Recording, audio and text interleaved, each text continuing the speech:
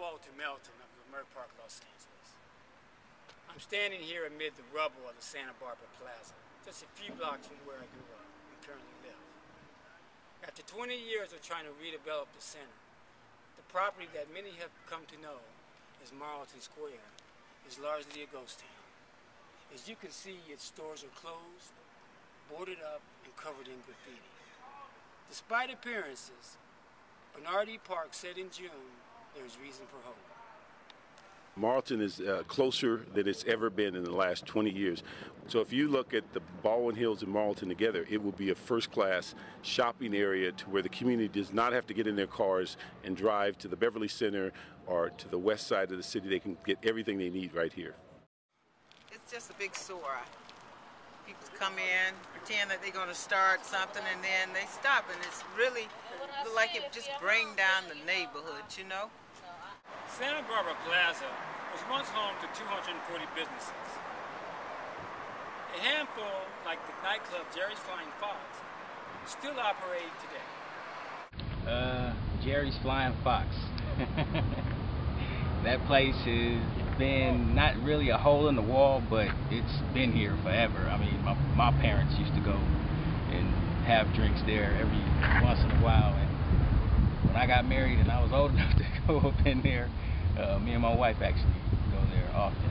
We had a shoe shop, we had cleaners, we had a community center over here for older people. They could come and gather and, and, and do things. It was nice. It was well. It was well. It was a nice, clean place. We had a law firm over here. We had two law firms over here. We had uh, a hardware store over here. We had uh, an electronics store over here. We had a photography shop over here.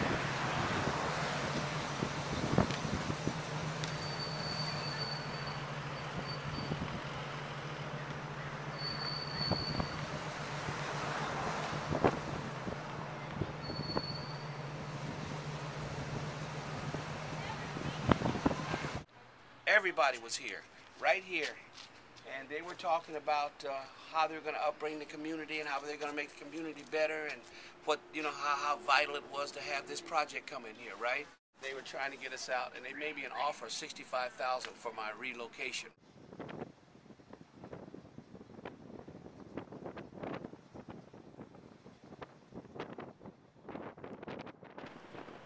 The city's redevelopment agency purchased approximately one-third of the center. But as Bernard Parks explains, they do not plan to move forward because the rest of the properties are in litigation due to the developer's bankruptcy. I, I think the unknown on Marlton Square is how quickly it gets out of the bankruptcy. If all goes well, it would be a miracle if you ended up having a product in five years. Know anything about the area, back in the 80s and early 90s, it was really drug infested. And now they've cleaned it up a whole lot. You're seeing a lot more diversity here in the area. And because of that, I believe that it could prosper.